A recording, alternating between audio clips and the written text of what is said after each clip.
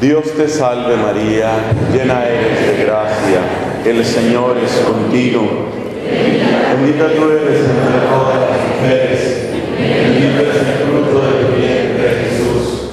Santa María, Madre de Dios, ruega por nosotros pecadores, ahora y en la hora de nuestra muerte. Amén. En el nombre del Padre y del Hijo y del Espíritu Santo. Amén. Amados hermanos, decíamos en nuestra predicación anterior que Dios está haciendo una obra de arte con cada uno de nosotros. Por eso la vida es variada, es distinta, como los colores de esos pequeños cuadritos que se utilizan cuando se va a hacer un mosaico. Hay algunos cuadritos que son oscuros, otros son claros, hay de colores muy vistosos y hay colores muy discretos. Y es el conjunto el que describe la obra de Dios. Y decíamos, hay que dejar al artista que haga su obra. El amado Papa Francisco dice, un santo es aquella persona que no le puso trabas a Dios, una persona que no limitó la obra de Dios. Eso es un santo. En esta charla vamos a hablar un poco de ese artista. El artista, por supuesto, es Dios y la obra de arte eres tú y soy yo. Este artista es Padre, Hijo y Espíritu Santo. Tres personas distintas, un solo Dios verdadero. Eso significa, Dios Padre quiere hacer una obra de arte en mí.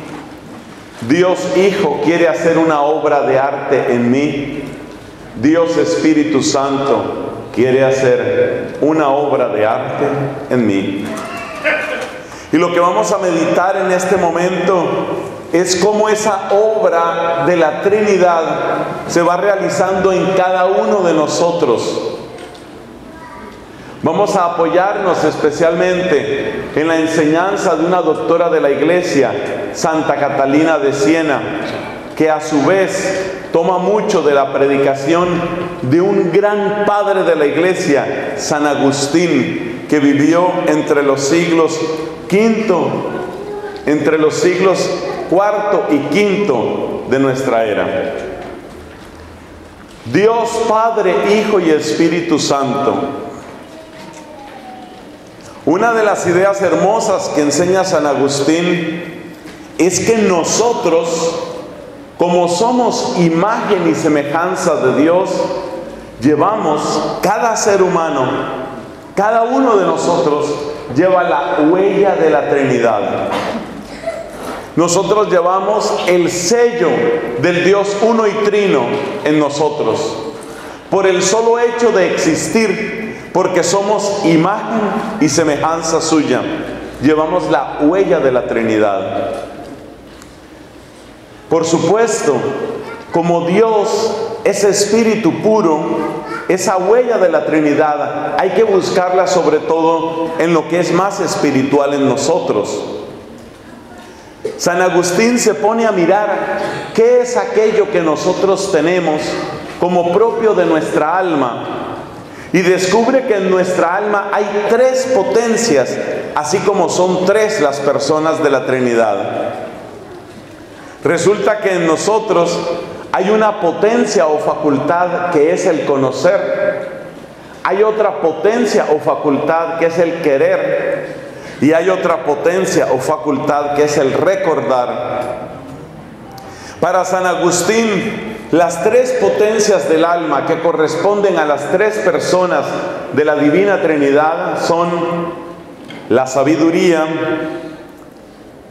es decir, nuestra inteligencia que busca la sabiduría, nuestra voluntad que busca el amor y nuestra memoria que tiene conciencia y recuerdo del poder. Qué hermoso aquellos que están escribiendo, que están tomando sus apuntes. A mí me parece bello esto porque los obispos nos dijeron en Aparecida que teníamos que ser discípulos y misioneros. Y me gusta que seamos discípulos que queremos asimilar en lo profundo de nuestro corazón estas enseñanzas. Entonces las tres potencias que hay en cada ser humano son la inteligencia, la voluntad y la memoria. Inteligencia, voluntad y memoria. Y esas tres potencias tienen que ver con las tres divinas personas. Sabiduría, amor y poder.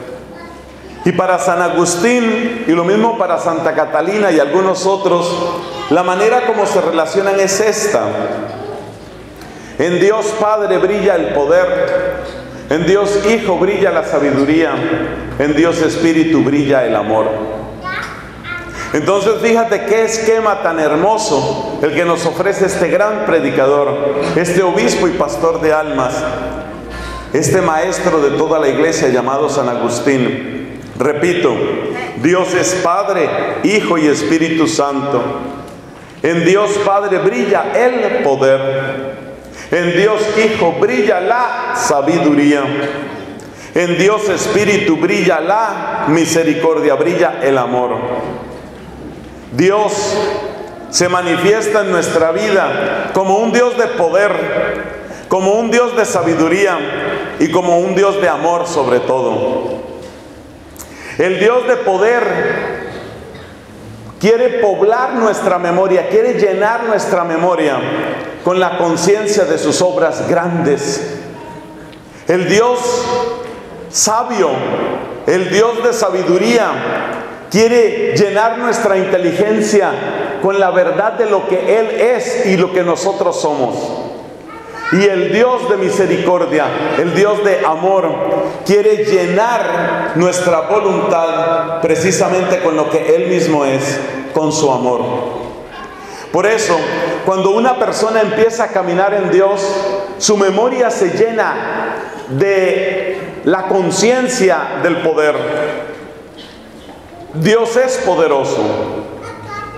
Cuando una persona peregrina en Dios, su inteligencia se llena de una comprensión de los divinos misterios. Cuando una persona peregrina en Dios, su voluntad se llena del rastro, del sabor, del perfume, incluso de la caricia, del amor compasivo del Espíritu Santo. Y de esa manera la Trinidad Divina se hace presente en el corazón humano. El Dios de poder llena mi memoria. El Dios de sabiduría llena mi inteligencia. El Dios de amor llena mi voluntad. El Dios de poder, es decir, Dios es poderoso y brilla el poder sobre todo en Dios Padre. El Dios de sabiduría, es decir, Dios es sabio y muestra su sabiduría especialmente en Cristo que es su palabra el Dios de amor, es decir, Dios mismo es amor y muestra su amor compasivo, sobre todo en la efusión del Espíritu, según lo que dice la carta a los Romanos, capítulo 5. El amor de Dios ha sido derramado en nuestros corazones con el Espíritu Santo que se nos ha dado. De esa manera, según la preciosa explicación de San Agustín, nosotros llevamos la huella de la Trinidad y de esa manera este artista del que venimos hablando hace su obra en nosotros. Entonces Dios quiere que en ti se vea su poder. Dios quiere que en ti se vea su sabiduría y Dios quiere que en ti se vea su amor. Y de ese modo cada uno de nosotros se convierte en lenguaje y expresión de Dios para la vida del mundo. Esta es una manera que tiene este santo. De verdad que el Señor es grande regalándonos esas figuras llenas verdaderamente de luz como este San Agustín, personas que nos llenan de claridad y que nos dan preciosas explicaciones. Esa es la huella de la Trinidad en el corazón humano. Repito por última vez el esquema y luego lo vamos a aplicar a nuestra vida mirando algunos textos de la Biblia. Dios es uno en tres personas. En Dios Padre brilla sobre todo el poder. Y el poder de Dios es lo que conserva, es lo que se conserva como en un arca preciosa. Así se conserva en la memoria de sus amigos, de los santos. En Dios Hijo brilla la sabiduría y la verdad de Dios se conserva como en un arca preciosa en la inteligencia de sus amigos, los santos. Dios es amor, Dios es misericordia. Ese amor brilla particularmente en el Espíritu Santo y ese amor es el que se conserva y da fuerza y vida, especialmente en la voluntad de sus amigos los santos memoria, inteligencia y voluntad en el ser humano, poder del Padre, sabiduría del Hijo, amor del Espíritu en la Santa y bendita Trinidad. San Agustín tiene esta idea, estamos hechos a la medida de Dios. San Agustín toma esa idea del libro del Génesis. Nosotros fuimos hechos a imagen y semejanza de Dios. Bueno, ya con esa explicación que le agradecemos a Dios, agradecemos a la iglesia que nos regala a un santo como este y a tantos otros predicadores, vamos a aplicarlo a nuestra vida. ¿De qué manera puedo hacer yo que Dios trabaje con libertad en mi corazón? Entonces tengo que abrirle espacio a su poder, tengo que abrirle espacio a su sabiduría y tengo que abrirle espacio a su amor. Tengo que dejar que Dios actúe porque es poderoso. Tengo que dejar que Dios me muestre su plan porque es sabio. Y tengo que dejar que Dios me ame. Tengo que dejarme amar de Dios porque Él es compasivo. De esa manera cada uno de nosotros puede abrirse a Dios. Y cuando nosotros nos abrimos a Dios, entonces suceden cosas maravillosas en nuestro corazón, suceden cosas maravillosas en nuestra vida. Lo demuestra muy particularmente aquella mujer a la que hemos de amar todos los que somos de Jesucristo. Se llama María. Hay que amarla mucho. Es muy, muy, muy bella, es muy hermosa, porque en ella brilla el poder de Dios, en ella brilla el diseño de Dios, en ella brilla la misericordia de Dios. El aroma, el perfume de María no es otra cosa que la unción del Espíritu Santo. La armonía y proporción de su cuerpo y de su alma no son otra cosa sino expresión del logos divino, de la sabiduría de Dios. La pureza, la libertad de todo pecado, el caminar generoso de ella sobre esta tierra es expresión de la obra de Dios Padre. Todo creyente, todo cristiano ha de mirar con amor, ha de mirar con agradecimiento, ha de mirar con júbilo a María, cumpliendo así lo que dice la Biblia. Lucas capítulo 1, me llamarán bienaventurada todas las generaciones. Así que nosotros tenemos que mirarla a ella y llamarla bienaventurada, alegrarnos con ella. No es simplemente estudiarla como un tema bíblico, algunos protestantes llegan hasta ese punto, estudian a María como si fuera un tema de la Biblia. No es solamente una materia de estudio, es materia de alegría, de celebración, de júbilo. Me llamarán bienaventurada. Mejor dicho, vamos a darle un aplauso a la Virgen en lo que pasa.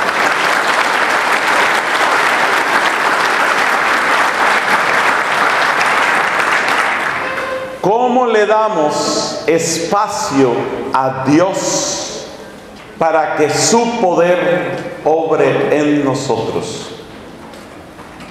¿Cómo puede uno abrirse más al poder de Dios? Seguimos en la ruta que nos muestran estos dos grandes santos, una mujer del siglo XIV, Catalina, y un santo obispo de los siglos IV y V, Agustín. En esa ruta seguimos, porque es una ruta segura. Son doctores de la iglesia, gente seria, gente aprobada por la iglesia. Para abrirme al poder de Dios, debo tomar conciencia de que Dios no empieza a actuar cuando yo pienso en Él o cuando yo lo recuerdo o cuando yo quiero. Dios ya ha empezado a obrar. Dios ya ha obrado muchas cosas en mi vida. Por eso, el primer paso para abrirse al amor de Dios, a la sabiduría de Dios y al poder de Dios es hacer uso de nuestra memoria. Si de verdad quieres abrirte al poder de Dios y vas a tomar en serio esta predicación, lo primero que vas a necesitar es tu memoria. Es una palabra, una palabra preciosa y necesaria. Vamos a recordar las maravillas del Señor. Hay tantos salmos, especialmente hacia el Salmo 104, 105, para cuando tengas tiempo, mira por ahí esos salmos 104, 105. Te vas a encontrar que el pueblo de Dios hace memoria de sus maravillas. Hay una parte de la Santa Misa donde hacemos memoria de las maravillas de Dios. Se llama el prefacio. En el prefacio siempre empezamos diciendo, en verdad es justo y necesario, es nuestro deber y salvación darte gracias siempre y en todo lugar, Señor Padre Santo, Dios Todopoderoso y Eterno, por tu Hijo Jesucristo. Porque, y en cada prefacio viene una historia, en cada prefacio, porque desde antiguo elegiste a un pueblo porque les diste a Moisés como guía, porque en la plenitud de los tiempos enviaste a Jesucristo, porque Cristo nos envió el Espíritu Santo y por eso nos unimos a los ángeles y a los santos y cantamos a una voz y entra el ministerio de música, Santo, Santo. Esa es la misa. Esa parte, esa parte que se llama prefacio, es un modelo de lo que significa recordar las maravillas de Dios. Recordar las maravillas de Dios. En verdad, porque es que dice, el sacerdote dice, el Señor esté con ustedes y con tu espíritu. Levantemos el corazón, lo tenemos levantado hacia el Señor.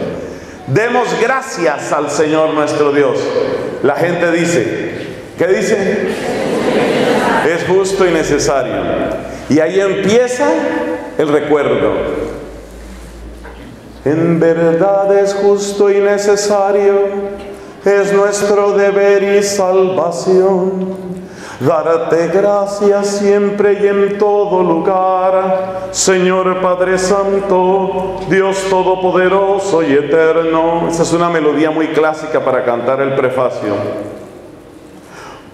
Porque ahí cuando viene el porque, ahí está una historia. Algunas veces se habla de María Santísima, otras veces se habla de los santos, otras veces se habla de los apóstoles, otras veces se habla del bautismo, otras veces se habla del matrimonio. Esa partecita de la misa que se llama prefacio y que siempre termina con el canto del santo es memoria hacer memoria. Cuando haces memoria de los prodigios de Dios, te abres al poder de Dios. Cuando colmas tu memoria con el recuerdo de las obras de Dios, te abres al poder de Dios. Y cuando te abres al poder de Dios, es como si le dijeras a papá Dios, estoy listo para que trabajes en mí. Estoy listo. Estoy listo para que tú trabajes en mí, para que tú hagas tu obra en mí. Por eso, un buen ejercicio que les voy a invitar, seriamente les voy a invitar a que lo hagan, escriban su prefacio. Escribe tu prefacio. Ahora mismo no alcanzamos, porque eso requiere un tiempo. Esto es como para un retiro espiritual, con más tiempo. Pero como Dios mediante nos vamos a ver también mañana, quiere decir que tienes unas horas por la noche. ¿Por qué no escribes esta noche tu prefacio? ¿Cómo escribiría yo, Nelson Medina, aquí presente, ¿cómo escribiría yo el prefacio de lo que ha sido mi vida? ¿Qué diría yo en ese prefacio? Siempre los prefacios empiezan con palabras casi idénticas. En verdad es justo y necesario, es nuestro deber y salvación darte gracias siempre y en todo lugar, Señor Padre Santo, Dios Todopoderoso y Eterno. Porque lleno de infinita compasión y sin mirar los muchos pecados de tu siervo Nelson, un día quisiste llamarlo. ¿Eso cómo se llama? Memoria. Así podría decir el prefacio mío. Porque tuviste abundantísima paciencia. Así tiene que decir el prefacio mío. Porque tuviste abundantísima paciencia con un pecador. Porque manifestaste tu ternura a un pequeño niño rollizo. Esa es mi memoria. Esa es la historia mía. Y cuando tú recapitulas, cuando tú recuperas tu historia, entonces tú empiezas a ver que Dios ha hecho un camino contigo. ¿Qué es lo que queremos nosotros con la memoria? Observemos que San Agustín dice que la memoria es una potencia del alma. La mayor parte de nosotros tenemos una idea equivocada de la memoria. Equivocada en la medida en que nosotros miramos la memoria nuestra como se mira la memoria de un computador o como se mira un depósito en un banco. Muchas personas se imaginan la memoria simplemente como un depósito muerto, como una bodega a donde yo llevo las cosas. Yo llevo las cosas allá a la bodega y allá las dejo. Por ejemplo, si compré 10 bultos de papa, llevo 8 bultos de papa a la bodega, porque no los voy a utilizar ahora. Y entonces nos imaginamos la memoria como una especie de bodega y por supuesto, en una bodega o en una despensa las cosas están quietas y más bien muertas. Esa no es la idea que tiene San Agustín. La memoria es algo vivo. Y te voy a explicar por qué la memoria es algo vivo con un ejemplo negativo y luego con un ejemplo positivo. Pero es mejor empezar con el ejemplo negativo. Resulta que tú un día tuviste una pelea, tuviste un malentendido, tuviste un roce violento con una persona en tu casa. Y vamos a suponer que esa persona fue tal vez una cuñada tuya. Y esa pelea, ese roce, esa dificultad aconteció hace 6, 7 años. Y en ese momento hubo un roce feo, una cosa de humillación como que te hicieron sentir usted no era necesaria en esta familia, usted hubiera podido quedarse donde estaba porque aquí estábamos muy bien. Ay, ay, ay, ay, ay, ay, cómo duele eso. Esas palabras son como una puñalada. Usted hubiera podido quedarse allá. Aquí estábamos muy bien en mi familia, dice la tal cuñadita esa la famosa cuñadita esa. Esa cuñada te dijo eso hace seis años y en ese momento tú te sentiste sumamente mal. Te sentiste herida, te sentiste humillada. Es más, se te iban a salir unas lágrimas, pero de puro orgullo dijiste, no le voy a dar gusto de que me vea llorar. Fue una ofensa. Y esa ofensa quedó guardada ¿dónde? En la memoria. Ahora hagámonos esta pregunta. ¿Esa ofensa está muerta o está viva? Está viva. Ahora sí me entendiste lo que es la memoria. Ahora sí me entendiste lo que es la memoria. No es un depósito muerto. Por eso te digo que esto no se parece ni a una bodega, ni a una despensa, ni a un depósito, ni tampoco se parece a un disco duro. Andan por ahí unos científicos que quieren emular la inteligencia humana utilizando para memoria lo que se llaman los discos duros. Pero el problema que tenemos es que nosotros parece que guardamos la memoria en un disco bastante blandito que se llama el cerebro el cerebro es bastante blandito, bastante sensible y sumamente vivo. Y eso significa que los recuerdos no quedan en nosotros como cosas muertas, los recuerdos quedan como cosas vivas. Y eso significa que tres años después y después de muchas conversaciones, esta mujer, la que se sintió herida, tiene que ayudar a preparar el cumpleaños de su hermano, porque el hermano cumple una cifra significativa, me parece una cifra muy bella, cumple 50 años de edad. Qué cifra tan bonita esa, 50 años de edad. Y entonces esta quiere prepararle una fiesta a su hermano que cumple 50 años, pero obviamente también hay otra persona que quiere prepararle fiesta. ¿Quién es? La cuñadita, por favor. Hay que aprender a pronunciarlo. La cuñadita. Entonces esta hermana quiere prepararle fiesta al hermano, a su hermano, pero la cuñadita, la famosa cuñadita, la que hace tres años me dijo que yo no hacía falta en esa familia y prácticamente me mandó lejos. ¿Qué quiere decir? Que la herida está, está ardiendo, está viva. La memoria no es una cosa muerta.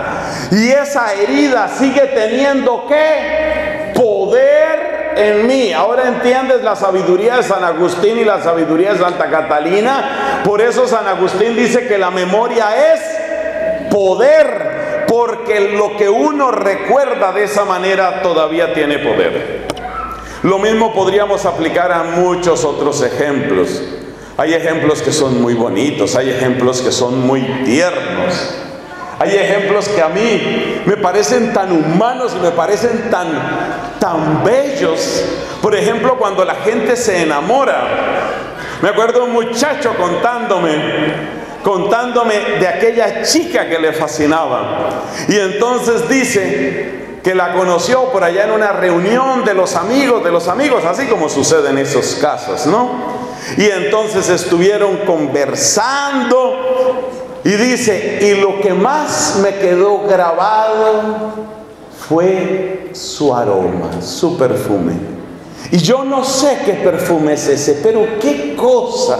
Es que era como un aura que la envolvía y pone la carita así tierna. Es que es algo, es que es algo tan especial así. ¿Quién sabe qué sería que olía esa mujer? Pero este tipo lo describe más o menos como si fuera un pedazo de cielo. Es que, es que ella, es que, y se le transforma la cara. Deje poner esa cara. Pero él quedó prendado de eso. Y luego su angustia para saber cuál es ese misterioso perfume. ¿Cuál será el perfume de ella?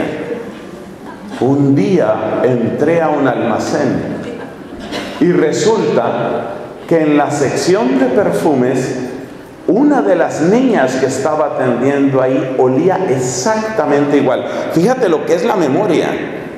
Quiere decir que el recuerdo del aroma de esa mujer es un recuerdo que vivo.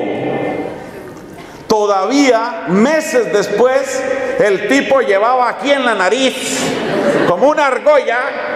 No mentira, no debo hablar así. Son cosas bonitas, fíjate, son cosas lindas. Él llevaba en su nariz, todavía llevaba el perfume, el aroma de ella, meses después. Esa es la memoria. La memoria, por eso decimos que tiene que tiene poder. La memoria tiene poder. San Agustín asocia la memoria con el poder. La memoria tiene poder. Entonces, cuando nosotros abrimos nuestra memoria a las obras de Dios, no es una colección de datos, no es una carpeta muerta, no es un folder de recuerdos. Abrirnos a las obras de Dios es sentirnos, es sabernos providentemente cuidados en verdad es justo y necesario. Es nuestro deber y salvación darte gracias, Padre Santo, siempre y en todo lugar. Porque ahí es donde tú tienes que empezar a escribir. ¿Por qué? ¿Por qué? A ver, ¿por qué tienes que darle tantas gracias a Dios siempre y en todo lugar? ¿Por qué? Cada uno tiene que pensar. Porque cuando nadie daba cinco centavos por mi vida, tú me buscaste, me esperaste, me hablaste, me reconstruiste. Porque enviaste ángeles de esperanza que me anunciaron tu palabra.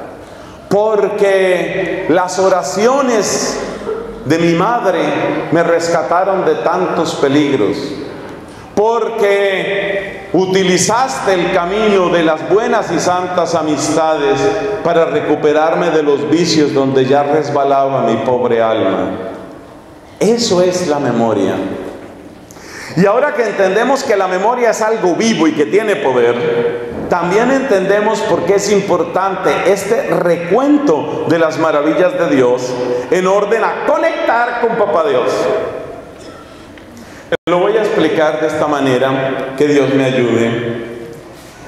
A medida que vamos leyendo nuestra historia y vamos reconociendo el paso de Dios en nuestra vida, cada vez mejor nos vamos poniendo en sintonía con Él.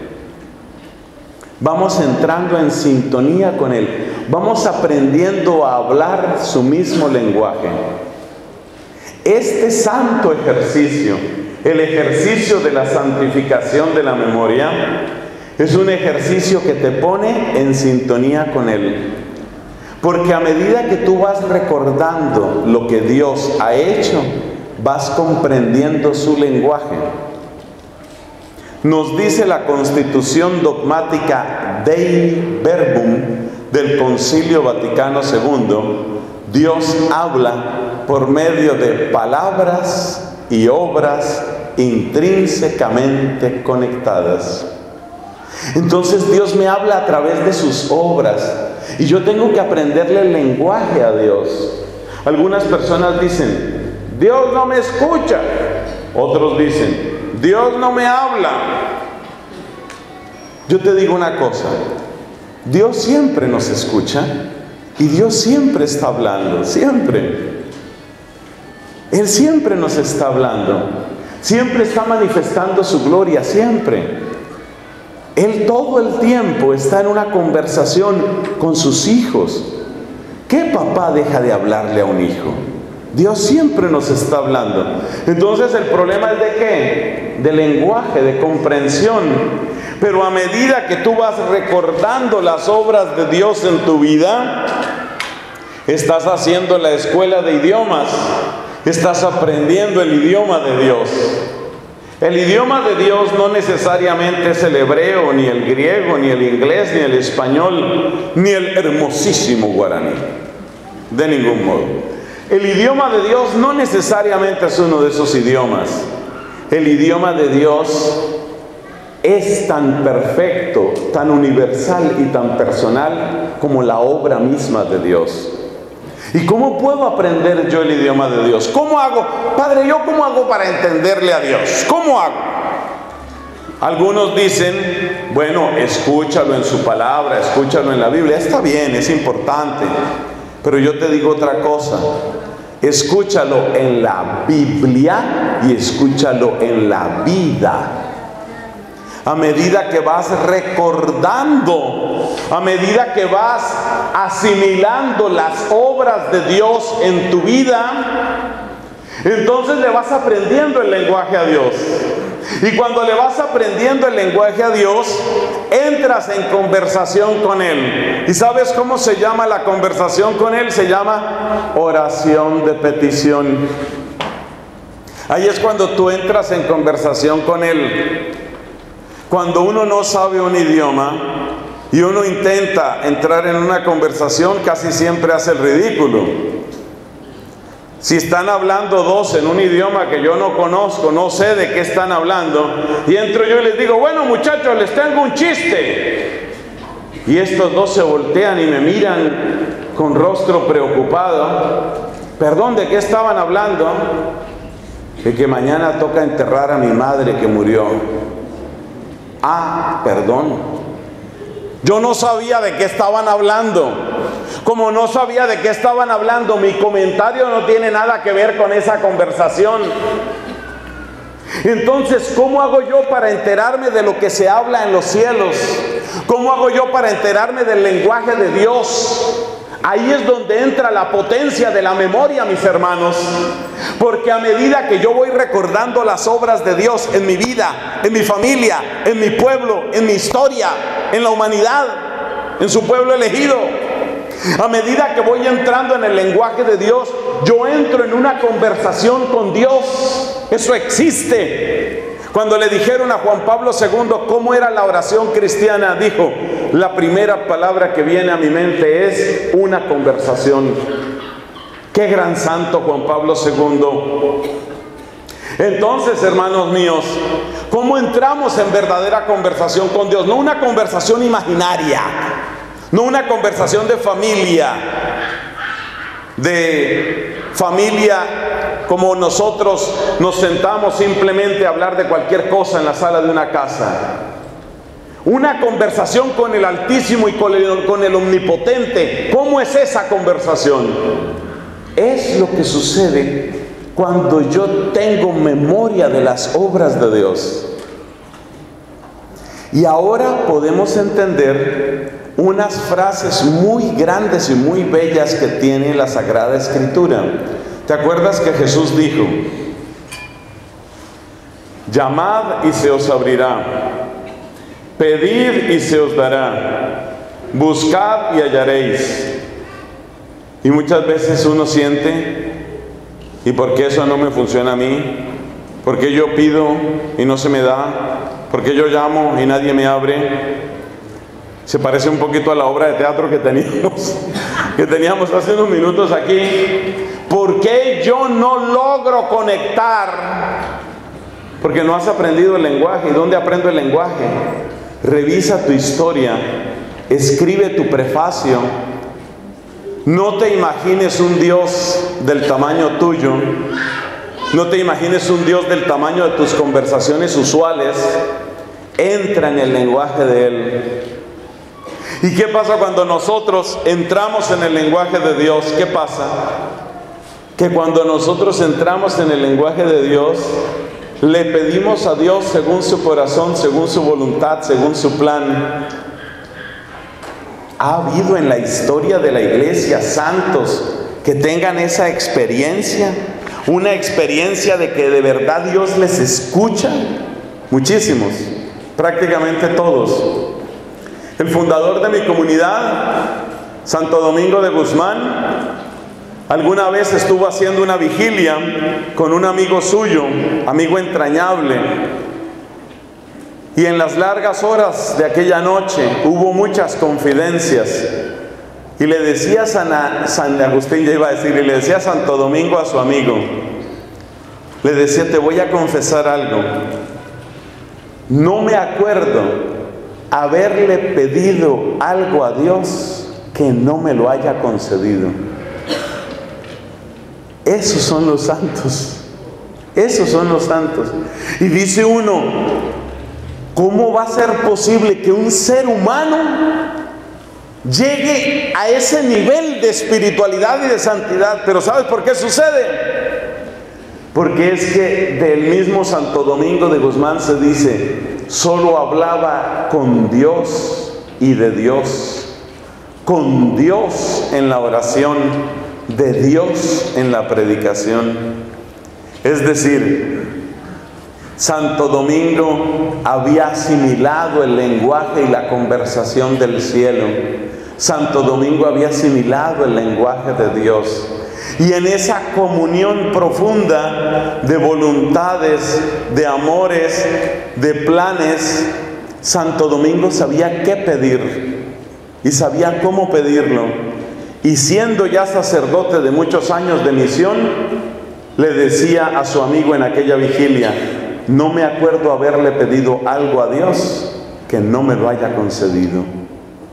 Bueno, ese es el tema de la memoria. Resumamos el tema de la memoria. La memoria no es algo muerto, la memoria es algo vivo. Las cosas que están en nuestra memoria, sean malas o sean buenas, nos afectan. Porque son vivas, son cosas vivas. Y dijimos también que rescatar nuestra memoria es rescatar el camino de las bendiciones y providencias que Dios ha tenido con nosotros a lo largo de nuestra vida. Y hemos dicho también que rescatar ese camino es lo que nos hace entrar en el lenguaje de Dios. Es lo que hace que nuestra conversación, que nuestra conversación esté en el cielo. Como describe nuestro Señor Jesucristo en el capítulo tercero su propio ser. Nadie, nadie ha venido del cielo, sino el Hijo del Hombre que está en el cielo. Esa frase para mí es de lo más dramático de toda la Biblia. Jesús se sentía en el cielo. Oiga eso. Es que me rebasa completamente el entendimiento. Capítulo tercero del Evangelio de Juan. El Hijo del Hombre que está en el cielo. ¿Cómo podía Jesús decir eso? Es que su conversación, es que su sintonía con el Padre no cesaba jamás. Por eso el Hijo del Hombre está en el cielo. Jesús se sentía en el cielo, estando en la tierra. Qué cosa tan admirable, qué, qué hermosura de santidad. Y por eso también dice Cristo en el mismo Evangelio de Juan, cuando va a resucitar a Lázaro, capítulo 11, 11 del Evangelio según San Juan. Padre, dice Jesús, yo sé que tú siempre me escuchas. Yo sé que tú siempre me escuchas. Y ese no es un privilegio para que se quede en Cristo. Ese no es un privilegio para que se quede en Santo Domingo de Guzmán. Ese es un privilegio para que tú lo vivas. Para que tú vivas como verdadero hijo del Padre Celestial, como verdadera hija del Padre Celestial. Porque ¿qué es lo que quiere este Padre Celestial de ti y de mí? Lo que nos dice Marcos capítulo 1. ¿Qué dijo el Padre Celestial el día del bautismo de Cristo? Dijo, este es mi Hijo amado, en quien tengo mi complacencia, escucharlo. O sea que nosotros somos llamados a ser en Cristo y con Cristo, como decimos en la misa. Por Cristo, con Él y en Él. Esa es la vida cristiana. Por Cristo, con Él y en Él. A ti, Dios Padre Omnipotente, en la unidad del Espíritu Santo, todo honor y toda gloria por los siglos de los siglos. Amén. Amén. Entonces ya ves cuál es el trabajo que tenemos en nuestra memoria. Recapitular y recuperar las obras del Dios vivo, las obras con las que Él ha visitado mi vida. Primero la mía mía, luego mi familia, luego mi pueblo. Me parece una cosa tan tierna. Es que de verdad que este Papa tiene unas cosas de una ternura, como le dice al pueblo del Paraguay, ¿no? Quiero que oren el Padre nuestro en lengua guaraní.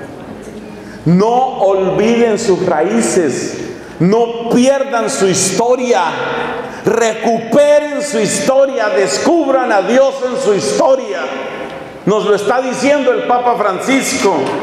Recuperen su guaraní, recupérenlo, vívanlo. ¡Qué belleza! Bueno, eso en cuanto a la memoria. Es fascinante, es algo, es algo tan bello porque es lo que te pone en sintonía con Dios. Ahora vamos con la inteligencia. Porque dijimos que eran tres, ¿no? Memoria, inteligencia y voluntad. En cuanto a la memoria, el ejercicio es escribir el prefacio, es recapacitar, es recuperar. ¿Recuperar qué? Recuperar mi historia. Recuperar el recorrido de las bendiciones y providencias de Dios en mi vida, en mi familia, en mi pueblo, mi gente. Amar uno su gente, amar uno su suelo, su raíz, qué belleza. Seguimos. ¿Qué podemos hacer en cuanto a la inteligencia? Según el esquema precioso de San Agustín, se atribuye de modo particular el poder a Papá Dios, la sabiduría a Jesucristo, la misericordia al Espíritu Santo. Ese es el esquema. Entonces, recuperar nuestra inteligencia para Dios es abrir nuestra inteligencia a la sabiduría que se manifiesta en las obras de Cristo, en las palabras y las obras de Cristo. Es decir, que el sol de Cristo es el único que le puede devolver la vista a los ojos de mi alma. Dicho de otra manera, la inteligencia se santifica cuando recibe el efecto benéfico de los rayos de este sol de justicia que nace de lo alto, Jesucristo el Señor. A medida que nos acercamos, a medida que nos acercamos a Jesús, a medida que queremos conocer a Jesús, a medida que reflexionamos sobre su vida, entonces nos vamos llenando de esa inteligencia que ya entendemos que es inteligencia espiritual. Es esa inteligencia la que nos interesa, inteligencia espiritual. Bueno, ¿y cómo puede uno, a ver, así como más, como más práctico, cómo puede uno acercarse a eso? Ay, es tan bello Dios, es tan bueno nuestro Dios. Mira, hay tres dones del Espíritu Santo que si tú los pides el Señor los concede. ¿Te acuerdas que en la carta de Santiago dice, si alguno de ustedes está falto de sabiduría, que la pida al Señor, que da en abundancia y sin recriminar? Carta de Santiago. ¿En qué parte de la carta de Santiago usted lo va a buscar? Usted lo tiene que buscar porque usted tiene que aprender a recorrer su Biblia de para arriba y de para abajo. Tiene que conocer su Biblia. Carta de Santiago. Si alguno está falto de sabiduría, que la pida al Señor. Muy bien. Hay tres dones del Espíritu Santo que tienen especialmente que ver con esto que estamos diciendo. Para que tu inteligencia sea bendecida. Para que tu inteligencia sea colmada con la presencia de Cristo. ¿Sabías que en tu inteligencia, en tu capacidad de entender, hay un trono de gloria que está ya reservado para Jesús? ¿Y sabías que cualquier otra cosa que tú sientes en ese trono te va a hacer daño a ti y va a destruir tu capacidad de comprender la palabra? Si tú pones el orgullo de la ciencia entronizada como ídolo en ese trono, esa ciencia así idolatrada te va a hacer daño. Si tú tomas la filosofía, porque has estudiado mucha filosofía, yo he estudiado mucha filosofía, sé mucho. Si tú pones la filosofía en ese trono, esa filosofía te va a hacer daño. No es que la filosofía sea mala, pero la filosofía entronizada hace daño. La ciencia entronizada hace daño. El único que puede ocupar ese trono, el único que merece ese trono es Jesucristo, solo Él. Y hay tres dones del Espíritu Santo, de la lista, llamémoslo así, oficial de los siete dones. Hay tres dones del Espíritu Santo. Tres que tienen que ver con devolverle el trono a Jesús. Y tú puedes pedir esos tres dones y los tres dones que tienes que pedir son el don de ciencia, el don de entendimiento y el don de sabiduría. Si tú clamas al Señor pidiendo esos dones y lo que vas recibiendo lo vas agradeciendo y lo vas poniendo a trabajar, va creciendo en ti la comprensión de la palabra divina, va creciendo en ti la comprensión de las obras de Dios en este mundo y en tu propia historia y va creciendo en ti la comprensión de quién es Dios en sí mismo. Los tres dones, repito la lista, son don de entendimiento, don de ciencia y don de sabiduría. Y tú y yo podemos pedir esos dones. Es un derecho que tienes. Qué cosa tan linda, qué bello que es ser cristiano.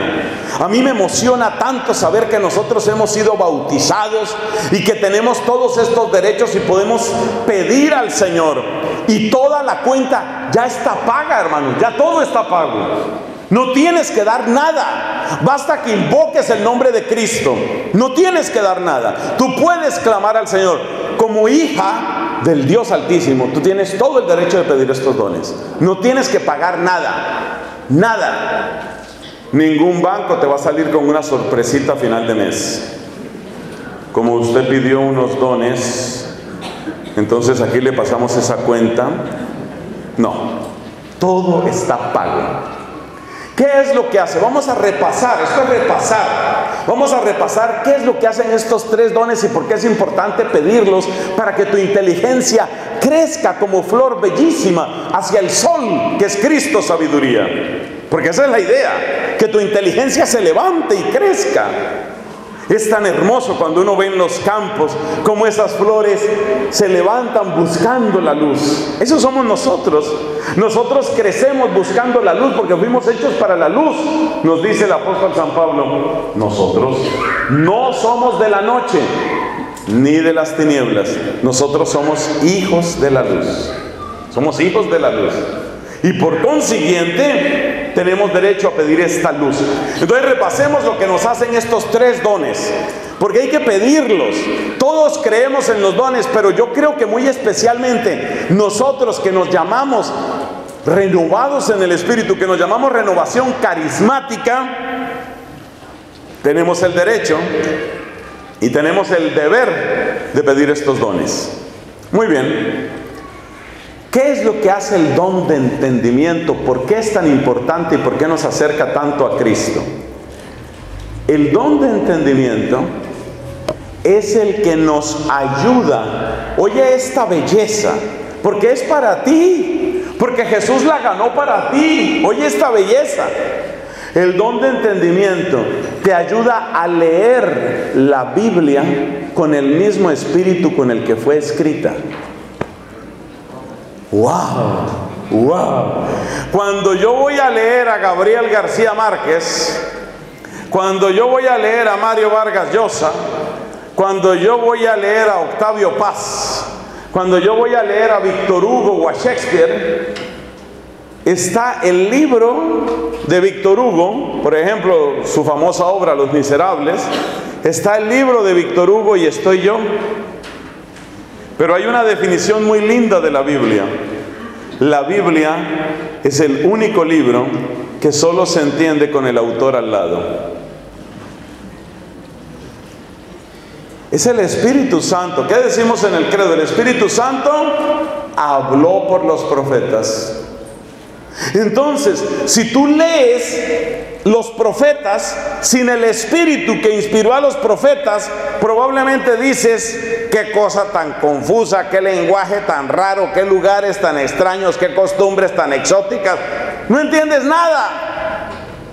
¿Qué es lo que te da el don de entendimiento? El don de entendimiento atrae sobre ti la luz de Dios para que tú puedas leer la Biblia con el mismo espíritu con el que fue escrita. El don de entendimiento hace que cuando estés en una predicación, jamás te dé sueño. No, no dice eso. el don del Espíritu Santo. El don del Espíritu Santo, el don de entendimiento hace una cosa maravillosa.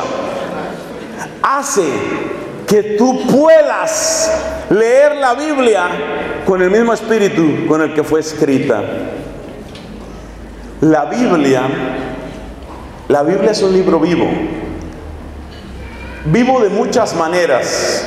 Un día deberíamos hacer un retiro solo sobre lo que es la Biblia, solo sobre Biblia. Porque es una belleza y es infinita, la Biblia es infinita. Bueno, de las cosas que tiene la Sagrada Escritura, es que en la Sagrada Escritura hay unos hilos, óyeme bien, hay unos hilos que van conectando de muchas maneras unos pasajes con otros, con lo que está antes, con lo que está después, con lo que viene en el Nuevo Testamento, con lo que dijo Cristo en el Evangelio, con lo que anunciaron los patriarcas, con lo que dijeron los profetas. Cuando uno abre la Biblia, a veces uno abre la Biblia ya no en libros, sino en el celular o en la tableta o lo que tienes. Cuando tú abres la Biblia, tú al principio no ves esos hilos, esos hilos que conectan una cosa con otra. ¿Qué es lo que hace el Espíritu Santo con el don de entendimiento para que tu inteligencia se llene con la sabiduría de Cristo? El Espíritu Santo, si tú lo recibes, si tú lo acoges, si tú no lo entristeces, porque San Pablo dice, no entristezcan al Espíritu Santo. Si tú lo recibes, es un espíritu sutil, nos dice, el libro de la sabiduría. Si tú recibes al Espíritu Santo, si tú lo acoges con respeto, si tú lo suplicas con ardor, el Espíritu Santo te muestra el pasaje, el pasaje que estás leyendo, y te muestra un hilito como un hilo dorado, como un hilo luminoso que conecta ese pasaje con otro. Eso hace el don del entendimiento. Es más, el don del entendimiento, además de mostrarte ese tejido que está ahí en la Biblia, hace que los hilos que están ahí conecten con tu corazón y tú empiezas a decir, ese soy yo, eso me pasó a mí, eso explica la vida de mi hijo, eso fue lo que me quiso enseñar mi papá. Hilos. Eso es lo que hace el don del entendimiento. Tenemos que clamar el don del entendimiento. Jesús una vez discutiendo con unos judíos les dijo, ustedes leen las escrituras buscando en ellas sabiduría, ellas hablan de mí. Ave María Purísima, dice el colombiano. Ave María Purísima, ellas hablan de mí. Entonces lo que hace el don de entendimiento es irte mostrando esos hilos. Y son esos hilos preciosos, esa filigrana. Esa palabra se utiliza aquí, claro, ¿no? Esa filigrana preciosa es la que hace que tú te maravilles. Y llega el momento en el que tú sientes que tú vives ahí, ahí, Ustedes dirán que se enloqueció el Padre. No, es la verdad. Llega un momento en el que tú sientes que tú vives más en la Biblia que en Bogotá, más en la Biblia que en Asunción, más en la Biblia que en Nueva York. Empiezas a vivir en la Biblia. Ese era San Pablo. San Pablo se movió por toda esa cuenca del Mediterráneo, pero él más que vivir en Galacia, o en Tarragona o en Éfeso, él vivía en la palabra. Esa era su casa. Es asombroso. Eso es lo que hace el don de entendimiento. El don de entendimiento hace que un día empiecen a brillar esos hilos. Te puedo contar una cosa que me sucedió, porque mire, con todo lo pecador que yo he sido, Dios me perdone y me dé conversión. Yo soy testigo de que esto es verdad. Mire, cuando yo empecé a asistir al grupo de oración, el mismo de la señora que les conté, la señora Nora, cuando yo empecé a asistir a ese grupo, había una muy buena predicadora ahí. Y se destaco que estas dos fueron mujeres, porque se ha subrayado demasiado poco el papel que tienen las mujeres en la evangelización. Bueno, había otra señora de nombre Marina que también vive todavía, y esta Marina era una gran pedagoga. Y un día nos leyó un pasaje de la Biblia, leyó el pasaje y nos hizo el ejercicio que se hace con frecuencia. ¿A ti qué te dice ese pasaje? ¿Qué te dice esto a ti? ¿Qué te dice esto a ti? Nos fue preguntando a varios. Y a mí me preguntó como en segundo o en tercer lugar. Yo recién estaba volviendo a los grupos de oración después de un tiempo que tuve de alejamiento y de frío con Dios.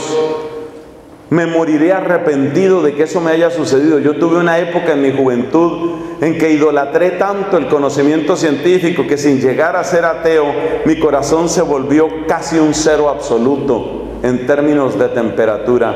Yo le perdí tanto, tanto a Dios pero estaba volviendo a los grupos de oración. Poco a poco estaba dando pasitos queriendo volver al grupo de oración. Y esta señora, hermosa, bendita señora que tanto nos ayudó a tantos, nos dice, ¿a ti qué te dice este pasaje? Y yo me acuerdo que yo tomé la Biblia y esas letras me bailaban y yo no sabía ni dónde empezaba, ni dónde terminaba, ni qué quería decir eso, ni qué tenía que ver con mi vida. Yo me acuerdo la sensación de vergüenza. Todo el mundo podía decir alguna palabrita, pero cuando me pasaron la Biblia a mí, yo no sabía ni qué decir, yo no entendí nada, yo no sabía nada. Y les está hablando una persona, para la gloria de Jesucristo, una persona que dirigió el equipo colombiano de Olimpiadas de Matemáticas en los Estados Unidos de América en 1981. Parece que yo no era tonto, tonto no era, pero me pasaron la Biblia igual que si hubiera estado escrita en chino clásico.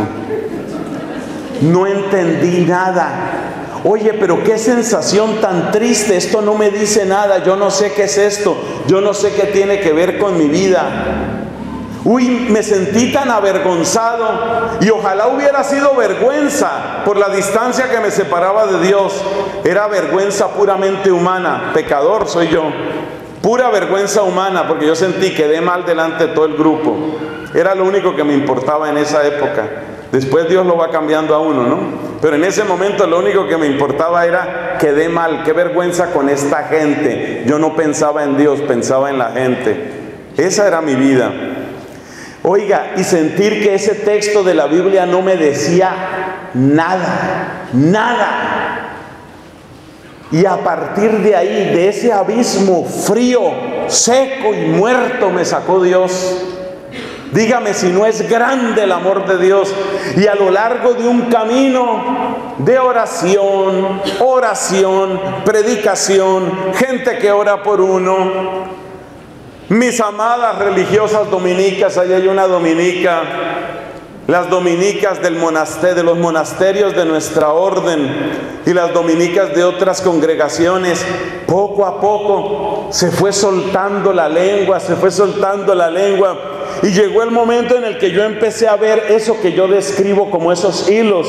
Y empecé a ver que todo se conectaba. Y empecé a ver que toda la Biblia grita el nombre y la gloria de Jesús. Y empecé a ver, aquí está Dios. Dios vive. Dios hace su obra. Dios es fuerte y poderoso. Eso lo pude descubrir. Y ahora difícilmente, años después, pero mire cuántos años me tardé. Lo que les conté del grupo oración fue hace más de 30 años. Años después, difícilmente escucho yo un texto de la Biblia sin que en mi mente se teja una red maravillosa que conecta cada pasaje con miles de cosas más. Si yo pudiera transmitirles lo que siente mi corazón cuando oigo la palabra de la Escritura, si yo pudiera contarles la hermosura que el Espíritu Santo ha destilado en cada capítulo de cada libro de la Biblia, ese es el don de entendimiento. No que yo presuma de tenerlo, pero es que tampoco puedo negar lo que Dios ha hecho en mí. Esa es la belleza. Eso es lo que Dios hace. Entonces tenemos que pedir el don de entendimiento. Tenemos que pedir el don de ciencia. ¿En qué consiste el don de ciencia? Es el que nos permite reconocer a Dios en las maravillas de la naturaleza y de la historia. Esa es una cosa muy bella. Si tú en algún día, quizás en el campo, quizás estás de visita por allá en el interior, en una estancia, en una noche sin luna, te asomas y contemplas esos cielos maravillosos, como solo se ve en el campo como solo se ve cuando uno está realmente lejos de la ciudad. Y tú miras esos luceros, contemplas ese espectáculo y empiezas a sentir que lágrimas de gozo vienen a tu corazón porque sencillamente es demasiado bello el mundo, porque es demasiado bella la creación. Tenemos en Colombia una santa que se llama Laura Montoya. Fue canonizada no hace mucho, Santa Laura Montoya, hermosa mujer, una religiosa realmente íntegra y sobre todo enamorada de Dios. Ella tuvo una preciosa experiencia mística viendo unas hormigas. Viendo el orden de las hormigas, viendo la obra que hacían y pensando que Dios cuida de cada hormiguita. Empieza a llorar esta mujer. Empieza a llorar de pensar que a Dios le alcanza el tiempo para todo. Que Dios tiene bondad para todos. Que Dios piensa en todo y en todos. Eso es don de ciencia. Don de ciencia es capacidad de reconocer más allá de la maraña abstrusa de los pecados de corrupción que abundan en nuestro tiempo, reconocer que Dios está tejiendo una cosa maravillosa eso se llama teología de la historia. El primer gran teólogo de la historia es otra vez San Agustín. Teología de la historia. Ver lo que Dios está tejiendo en medio de tanta corrupción y de tanta confusión en las cosas humanas. Ese es el don de ciencia. A través del don de ciencia aprendemos no solo a recordar las obras que Dios hizo, recordarlas como obras vivas, según explicamos ya. A través del don de ciencia aprendemos a descubrir el significado el significado, qué es lo que Dios estaba diciendo ahí. Por eso el don de ciencia es muy próximo a ese don que San Pablo alaba en los capítulos 12 y 14 de la primera carta a los Corintios, lo que él llama don de profecía. Todo el mundo se imagina que el don de profecía es hacer predicciones. No es la parte, puede haber, predicciones, pero no es la parte más importante. Lo grande del don de profecía es la vecindad con los planes de Dios que permite leer el paso de Dios en la historia. Eso lo da el don de ciencia. Y el don de sabiduría te da la capacidad de degustar todo lo que es de Dios. Así como un gran, gran cocinero, como un gran chef que apenas toma una pruebita de un postre que está haciendo, de una sopa que está haciendo, de una carne que está cocinando y dice, le hace falta un minuto, queda perfecto. Ese paladar adiestrado, ese es el don de sabiduría. Reconocer el sabor de Dios, disfrutarlo, gozárselo y jamás dejarse confundir. Eso es don de sabiduría. Hermanos, yo no sé ustedes, pero yo a partir de hoy voy a clamar con más fuerza al Señor esos tres dones. Los necesitamos muchísimo. Entendimiento, ciencia, sabiduría. Los necesitamos muchísimo. Bueno, ¿qué pasa cuando un corazón, qué pasa cuando uno de ustedes realmente se enamora de estos dones del Espíritu?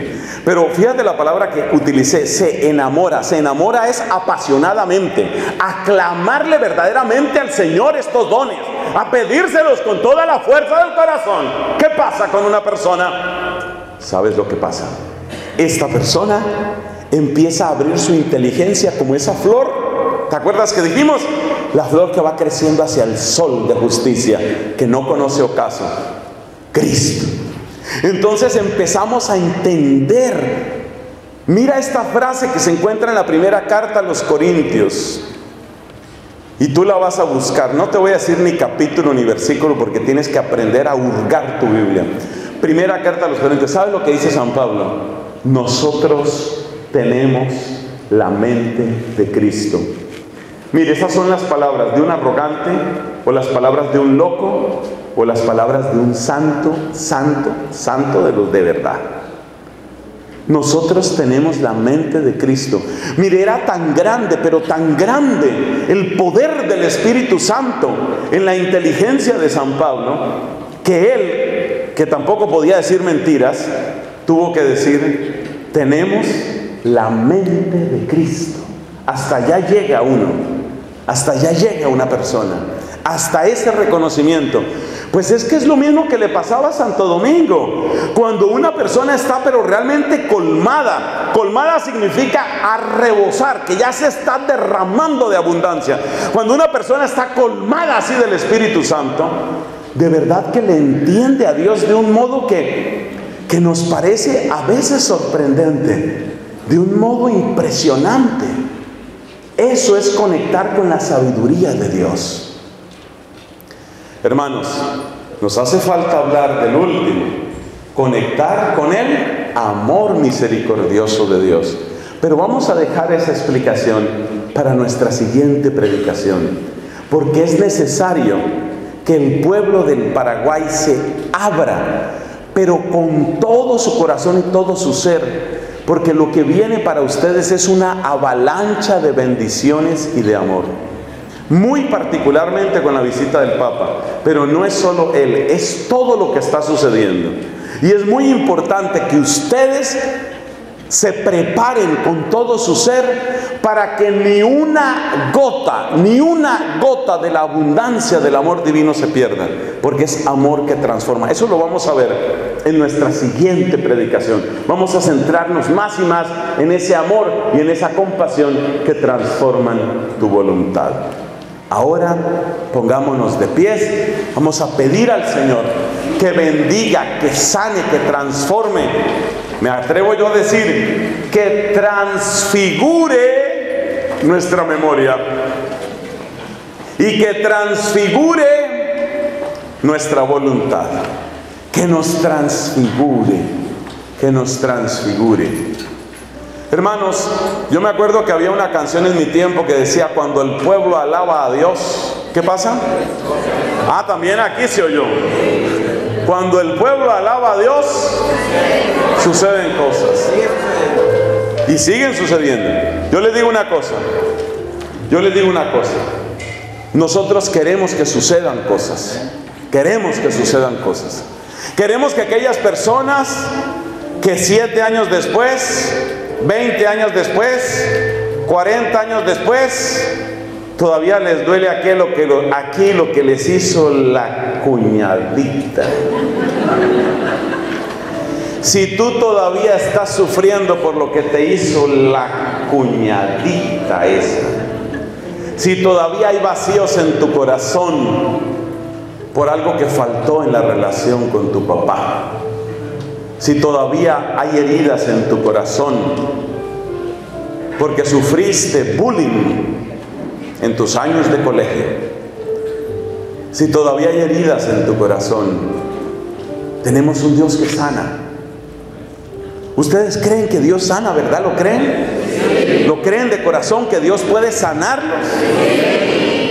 Mire, él levantó la mano, me gusta eso. ¿Quiénes creen aquí que Dios sana? Que Dios sana, que Dios puede sanar realmente. Eso es lo que vamos a pedir al Señor. Que nuestra memoria sea sanada que nuestra voluntad sea sanada, que nuestra inteligencia sea sanada. Mira esa frase que dijo Jesús. ¿Por qué los hijos de las tinieblas son tan rápidos, tan inteligentes, tan astutos en sus cosas? ¿Por qué ustedes son tan lentos para el bien? Yo creo que Jesús lloraba al decir esas cosas. ¿Por qué somos tan lentos? Por tan lentos para el bien. ¿Por qué los que quieren pervertir toda una nación son ágiles y escalan y suben y logran? ¿Por qué los que quieren destruir la familia escalan y suben y logran? ¿Por qué los que quieren instituir el crimen y el vicio escalan y suben y logran? Necesitamos mucho poder del Espíritu, pero mucho, porque queremos que la victoria hoy y siempre sea para Jesús. Hay un trono que le pertenece a Él y a nadie más le queda bien. Hay un trono que es para Jesús y a nadie, a nadie más le queda bien. Señor, Señor Jesús, mira con compasión a tu pueblo. Mira con amor a este pueblo tuyo, este pueblo que te ama, Señor. Mira con amor a mis hermanos de Paraguay, de Argentina y de cada país que está aquí presente. También mira a mi país que te necesita mucho. Jesús, Jesús de la misericordia, compadécete de tu pueblo. Pídele a papá Dios que nos envíe raudales de Espíritu Santo que lo necesitamos. Porque necesitamos que nuestra memoria sea sanada. Porque necesitamos sanación en nuestros cuerpos. Porque estamos enfermos y cansados. Porque estamos heridos y confundidos. Envía, Señor, poder de tu Espíritu Santo desde lo alto. Yo estoy seguro que si este pueblo ora, suceden cosas. Yo estoy seguro que Dios quiere hacer maravillas. Señor, atrae.